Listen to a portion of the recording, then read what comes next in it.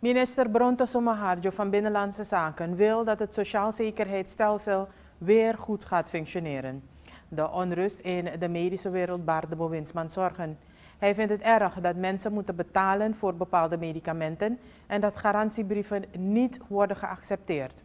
Somoharjo wijst erop dat de zorgwet gemaakt is zodat iedereen toegang heeft tot de zorg. In het bijzonder de mensen die er niet voor kunnen betalen.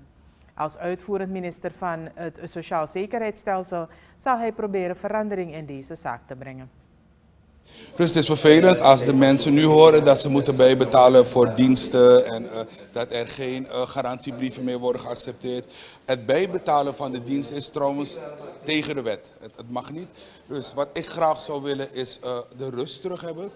als uitvoerend minister van het Sociaal Zekerheidsstelsel ga ik de vicepresident vragen in zijn hoedanigheid als als voorzitter van de onderraad van het Sociaal Zekerheidsstelsel om alle actoren uit te nodigen, om rustig met ze te gaan praten, want niemand heeft nu baat bij onrust. Het is niet prettig wanneer de mensen moeten komen en zeggen van hey, wij gaan je niet helpen, je moet bijbetalen.